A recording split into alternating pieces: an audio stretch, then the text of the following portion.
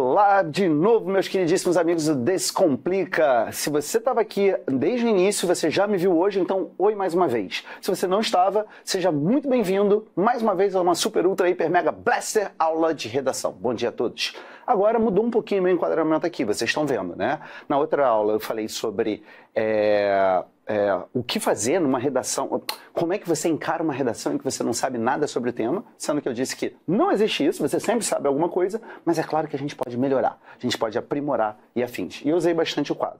Agora eu vou usar esse espaço, mas acima de tudo eu quero analisar textos, analisar redações com vocês. Porque o nosso objetivo nessa aula de agora é falar sobre o que faz com que uma redação 600 se transforme em uma redação 900. Ou, dito de outro modo, quais são as diferenças fundamentais, essenciais, entre um texto que recebe nota 600 mais um pouquinho versus um texto que recebe nota 900 mais um pouquinho. Nem preciso dizer que o nosso objetivo é o 900 mais. Você vai estar numa elite intelectual brasileira que consegue as notas mais altas da redação.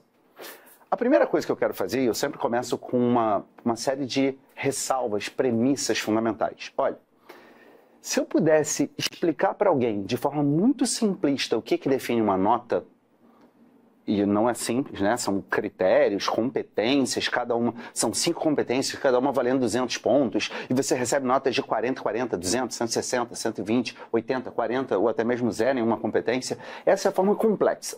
Se tivesse que explicar de uma forma simplista, eu faria isso com adjetivos. Como assim adjetivos? Pessoal, imagina que eu pego um texto, alguém me entrega, Rafa, leu esse texto para mim e me diz como é que ele está para uma, se, se for uma redação do Enem. Eu pego esse texto, eu leio esse texto e devolvo para a pessoa e digo, olha, é um bom texto. Fale para mim aí no chat, depois eu vou ver, tá? Falei para mim no chat. Se eu digo que o texto é bom, que nota mais ou menos esse texto receberia? Eu aposto que algumas pessoas vão colocar. Eu quero que você coloque agora, vou dar 10 segundos. 10, 9, 8, 7, 6, 5, 4, 3, 2, 1. Colocaram a nota? Deixa eu falar para vocês. Se eu digo que um texto é bom, na minha cabeça, mesmo que eu ainda não tenha analisado cada detalhe, ele é um texto mais ou menos 800 pontos. Hã? Um texto bom é 800? É, um texto bom é 800. E o que é um texto 900? Ele é mais do que bom. Ah, então ele é muito bom? Não sei, eu, eu diria que ele é ótimo. Ué, Rafael, então um texto mil é o quê? Calma. Um 960, um 980, eu diria que ele é mais do que ótimo. Eu diria que ele é excelente. Adivinha qual é o adjetivo do texto nota mil? Aí alguém vai falar, perfeito. Não, não, eu diria quase perfeito.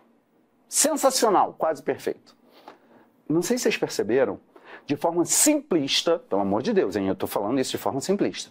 Um texto bom é um texto 800, um texto ótimo, 900, um texto excelente, 900 alto, 960, 980, e um texto nota 1000 é quase perfeito. Por isso que são muito poucas as notas 1000. E por curiosidade, qual o adjetivo do texto é, 700? Bom, o 700 ele é menor, menos do que bom. Então ele vai ser o quê? Razoável. E o 600? Aí começa a ficar ruim, né? O 600 eu diria que ele é um texto ruim. Rafa, ruim eu achei que fosse 300, 400. Não, não, não, não. O, o 300, 400 ele é um texto lixão. Não, não me odeia por isso, tá? Mas ele tem tantas falhas, tantas falhas. É até difícil dar uma nota 300, 400. Normalmente o texto é anulado, fica com zero, ou ele consegue 500, alguma coisa. Mas a partir de 600, mais ou menos 600, 500 e alguma coisa, ele já é um texto ruim. Então o que eu quero mostrar para vocês é, olha, o que diferencia um texto 600 de um 900 é que ele é um texto ruim que se transforma em um texto ótimo. Ou razoável para ruim, né, 700 para baixo, se transforma em um texto ótimo para excelente, que é o 900 mais. Vamos ver isso agora? Deu para entender esse papo inicial? Eu quero ver o que, só o que vocês estão escrevendo aí. Alguém falou a humilhação. KKKKKKK. Tá jogando fatos na cara. Gente, mas essa é a verdade. Se você tirou 400, né, base 400 em alguma redação, provavelmente esse texto era muito, muito, muito ruim. Qual o nome? Eu não sei. Escolhe aí um adjetivo. Mas ele era Assim, com 400 você, obviamente, não vai disputar as carreiras mais concorridas. Talvez você consiga passar, porque, de alguma forma, existem carreiras menos concorridas em que a sua pontuação, claro, dependendo das outras provas, pode ajudar, tá? É as pessoas, a humilhação vem de graça e tal. Mas é, é que eu, é, é, eu espero que vocês entendam que eu estou sendo transparente. Inclusive, eu quero mostrar para vocês agora uma redação que eu não preciso. Se, eu ler três linhas, você vai falar. Hum, isso. Me diz, ó. É, a, o tema é desigualdade social. É, desculpa, a desigualdade na sociedade contemporânea. Está falando de desigualdade social. Diz assim. Segundo livro de literatura brasileira, o Curtiço, aí você pode falar, pô, maneiro, né? Uma referência ao Curtiço, texto, é, livro do naturalismo brasileiro, que mostra a realidade da população carente no nosso país, pode ser usado para entender a desigualdade na sociedade contemporânea, onde relata as dificuldades enfrentadas em um Curtiço que atualmente pode ser considerado as conhecidas periferias, era periferias, tá? Enfrentando problemas como saneamento básico, diferença na educação mediante a classe e falta de oportunidade de trabalho, ao mesmo tempo que outras...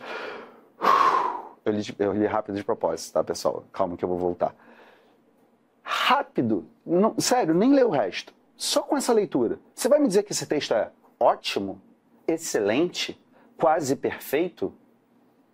Acho que você vai falar, cara, nem bom é. É isso. Só com isso eu já sei que ele não é um, não vai ser um texto 800. E nem preciso dizer, esse é o texto base 600 que a gente escolheu. É, é, a nota, depois eu vou mostrar para vocês, mas ele é um texto, a nota específica com as competências, é um texto base 600. E de alguma forma o que eu estou dizendo para vocês é, gente, esse texto é um texto ruim. Alguém pode falar, ah, mas ele é um lixo, não sei, aí tem que avaliar. Mas ruim ele é. Ele não passa de 700. Deu para entender? Eu queria que vocês tivessem essa sensibilidade. Eu acho que é, um, é, é, é só o início dessa nossa, nossa aula aqui, desse nosso momento, desse encontro, e eu acho que é importante vocês entenderem essa sensação que um texto causa.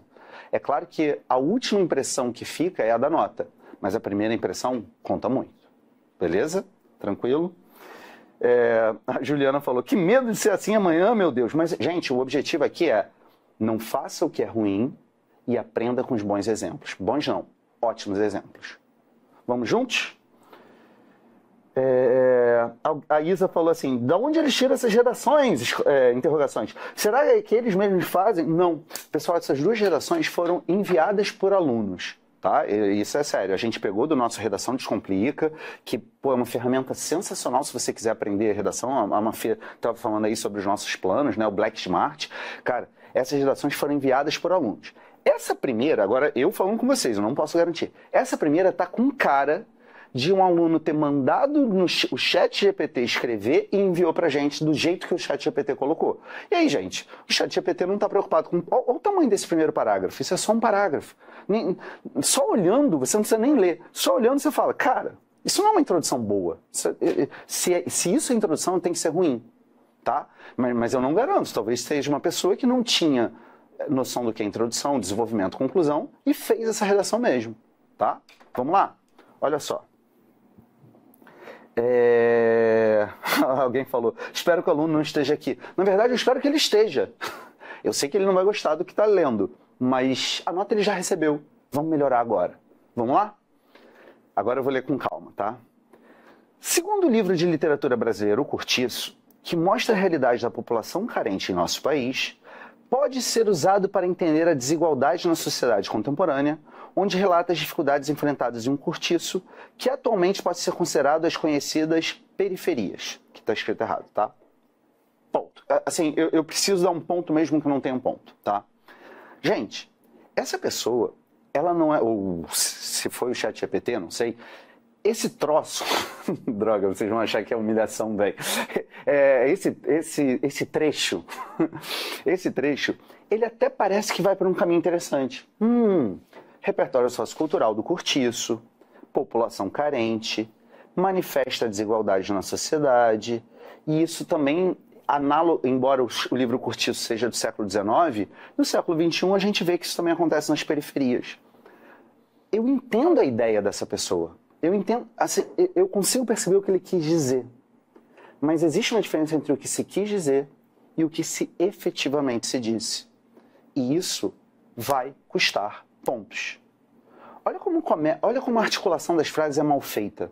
começa com segundo livro de literatura o cortiço. Cara, quando alguém diz segundo Aristóteles, segundo Platão, segundo Schopenhauer, segundo Pediri, tô zoando, não faz essa referência, tá?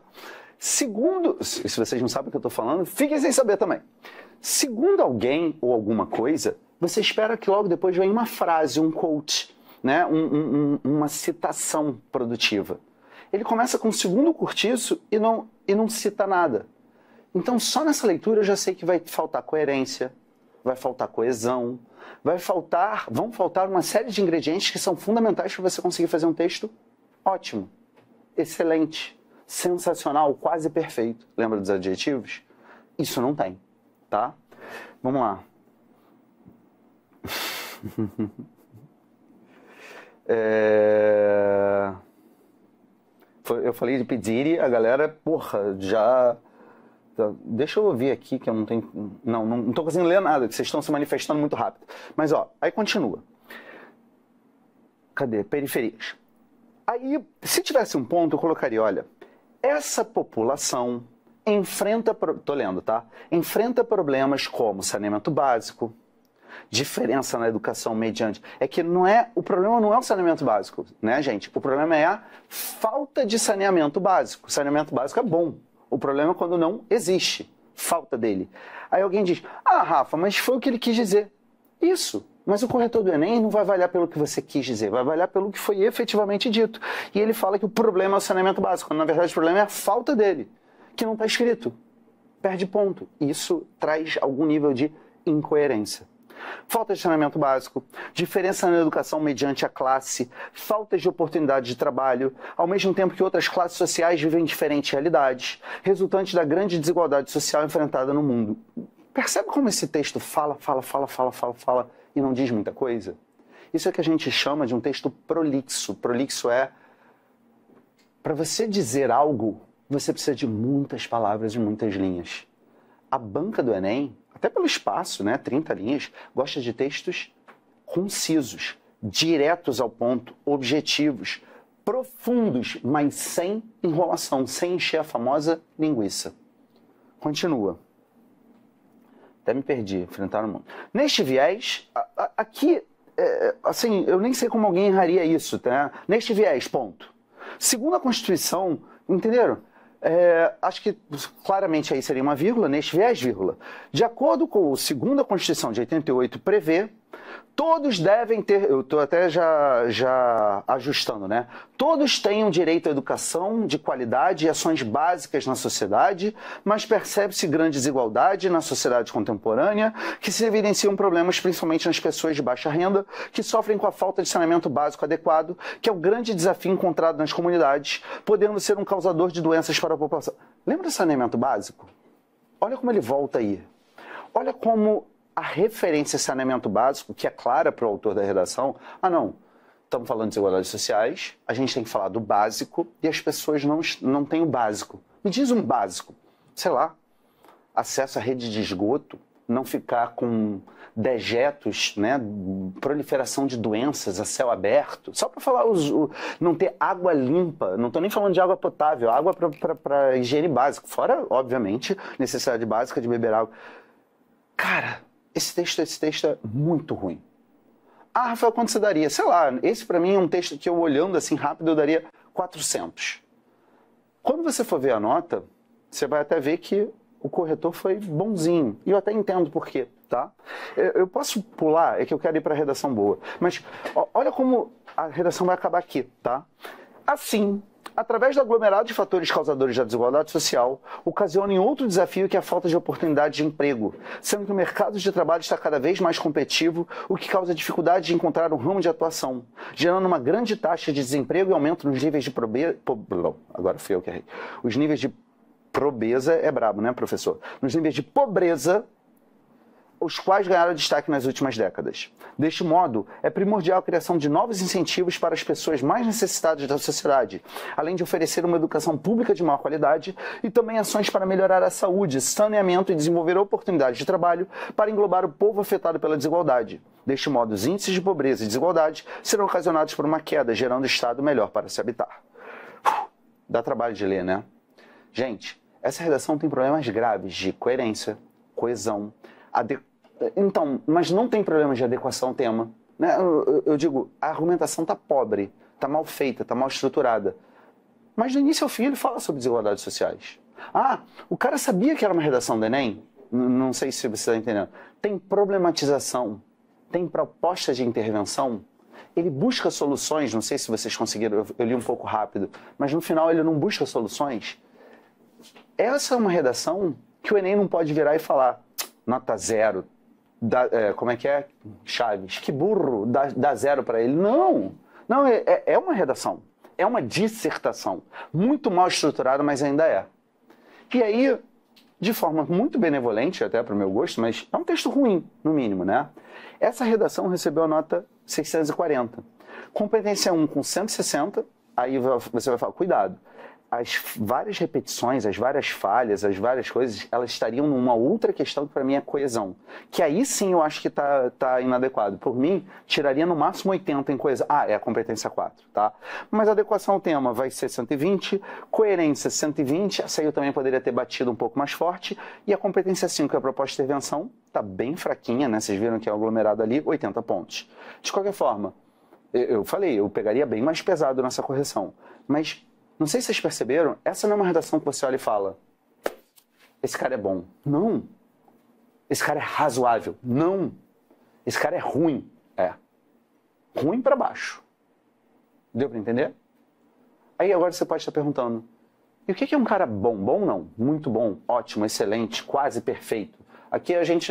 Bom, eu não vou dar spoiler não. Olha o que é dito. Redação número 2. Agora é a boa, tá?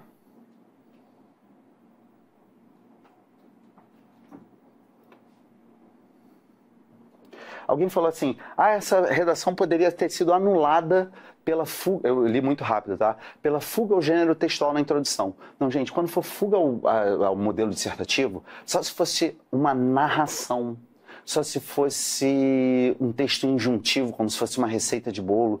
Se tiver os elementos do caráter dissertativo, a banca do Enem vai. A banca do Enem não é carrasca, tá? Não, ela, é, ela, não pega leve, assim, né? É muito difícil você tirar a nota mil, as notas mais altas. Mas ela também não. Ela não tem um prazer. Eu sei que vocês pensam que são um bando de. vamos dominar o mundo e zerar esses alunos. Mas não é isso no geral, tá? Eles tentam ser benevolentes na medida do possível. E eu acho que essa nota aí foi do tipo benevolente, tá? É, o Gabriel falou assim: chega a dar gosto essa redação, tem parágrafo. Vamos lá. Bom, só pela estrutura você vê, cara, essa perto da outra, essa redação parece razoável. E é, isso é interessante, né, pessoal? Quando eu falo razoável, é no mínimo 700, né? Só, só pela estrutura aí.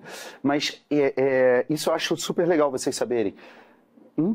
Cara, o, o, corretor, que é um ser humano, pelo menos ainda é um ser humano, ele vai ver 3 mil redações. Muitas redações vão ser como aquela primeira. Imagina, se fosse escrita à mão, imagina o tipo de é, é, letra, garrancho que pode aparecer em 3 mil redações. É, no caso naquela, né? Gente, só do cara ver isso, e ainda estiver com uma letrinha bonitinha, redondinha, eu sei que ninguém vai fazer caligrafia de hoje para amanhã, mas tentar caprichar, capricho não vale nota, mas capricho dá uma bela impressão né? Não sei, sei lá, você vai conhecer uma pessoa, primeiro encontro, primeiro date. Põe um perfuminho. Ah, mas precisa? Não é minha essência que tem que ser vista pela outra pessoa? Eu sei que sim, mas coloca um perfuminho. Perfume é um capricho. Não, não, não é o que vai é, é, é, fazer toda a diferença, mas causa uma boa impressão. Combinado? Letra bonita é o nosso perfume. Fechado? Letra bonita e organização, tá? É... A Luciele falou, mas não dá para levar perfume. Eu sei, Lu, mas eu acho que você entendeu que foi metafórico que eu coloquei. Fechado? A desigualdade na sociedade contemporânea, redação 2, eu já falei, ela não é ruim, não é lixão. O filme O Poço retrata uma prisão dividida em andares, onde dois detentos por nível são alimentados por uma plataforma descendente repleta de comida. Nos... Ponto. Aqui eu faço questão de botar ponto. Nos níveis superiores, os detentos comem mais do que precisam enquanto os que estão abaixo recebem apenas as sobras. Essa situação reflete a desigualdade social, onde a fartura nos níveis superiores pode ser associada ao capital concentrado. Assim, o filme ilustra a distribuição desigual de recursos entre populações carentes e as elitizadas. Se você acabou de ler aquele outro texto, finge que você é o corretor tá? Você está lá com 3 mil textos para corrigir, cansado. Está sendo pago para isso, mas você é um ser humano, está cansado. Ah, e está corrigindo em dezembro, janeiro, maior calor, pessoal indo para a praia e você tem que corrigir. Você acabou de sair daquela redação 1 e você vem para a redação 2. Não parece que ligaram um ar, você estava numa sauna e ligaram um ar-condicionado? É isso é o perfuminho na metáfora. E aí você fala, cara, mas eu nem tô achando tão bom. Eu não sei o que vocês estão pensando, tá? Ah, eu nem tô achando tão bom assim, mas comparativamente, sério, um, um, um é um soco e o outro é um abraço carinhoso, né? O abraço carinhoso sendo aí positivo. É... Aí, vamos lá. Ah, mas Rafael, é... você acha que poderia ser melhor? Óbvio que eu acho que poderia ser melhor. É claro que por mim, se eu estivesse falando com vocês assim, gente, vamos. Tá melhor do que a outra? Muito. Mas poderia ser ainda melhor. Rafa, quer criticar? Eu, deixa eu criticar aqui. Primeiro, embora a analogia, a referência ao filme Poço seja boa e a descrição seja também bem feita, eu acho que gastou muito espaço com essa descrição. Se eu fosse eu, professor, é, chato, querendo melhorar tudo, tá? Se eu fosse indicar para esse aluno, eu falaria, cara, gasta menos espaço falando, descrevendo como é que funciona a questão dos elevadores, embora eu ache ela bem interessante, e foca na sua tese. Se eu tivesse que fazer uma crítica mais dura aí, eu falaria, eu acho que a sua tese pode ser mais sólida, mais clara, mais sustentável. De preferência, mostrando qual o caminho que você vai seguir no, é bravo, seguir no desenvolvimento. Ah, Rafael, mas isso torna a redação dele uma porcaria? Não, só que eu sou chato, né? Eu preparo as pessoas para conseguir a nota mil. E para mim, faltou isso. Ah, mas isso torna o texto ruim? Não, pelo amor de Deus. Esse texto é bom ou muito bom, dependendo do que vier pela frente. Deu para entender? Beleza? Alguém falou assim: é, Felipe, deu mais espaço para o repertório do que para a tese. Perfeito, Felipe. É, é, na verdade, você foi muito mais conciso e, é, é e nevrálgico, nevrálgico é bonita, né? No, no ponto certo, tá? Acabou gastando muitas linhas com a contextualização, a tese ficou um pouco frágil. Eu faria melhor. Ou, desculpa, eu orientaria para melhorar, tá? Faria melhor. Oh, como ele faz melhor. Vamos lá. Seguindo a analogia do filme, ah, isso eu gosto. Porque percebam, não é só vomitei lá o filme Poço e nunca mais falo dele. Deixa eu aproveitar isso para dar fluidez ao texto. Só tem que tomar cuidado para não ficar repetitivo demais, mas aqui eu achei bom. Olha que legal. Seguindo a analogia do filme, a prisão dividida em andares pode ser comparada ao sistema hierárquico social. Os detentos dos andares superiores representam aqueles com poder concentrado, que desfrutam de privilégios como educação de qualidade e políticas econômicas favoráveis, enquanto os andares inferiores simbolizam as classes menos favorecidas. Estas, as menos favorecidas, enfrentam um sistema educacional deficiente e uma alta taxa de analfabetismo, lutando por uma vida digna com recursos limitados. Olha aí como ele tenta, de alguma forma, já encaminhar o tema é muito aberto, né? Esse tema. Ah, eu nem comentei isso, desculpem. O tema traz uma dificuldade. Ele não é um recorte. O tema é desigualdade na sociedade contemporânea. O Enem costuma fazer mais recorte. Como o tema ficou aberto, você tem, que, tem uma certa dificuldade de ver qual o caminho.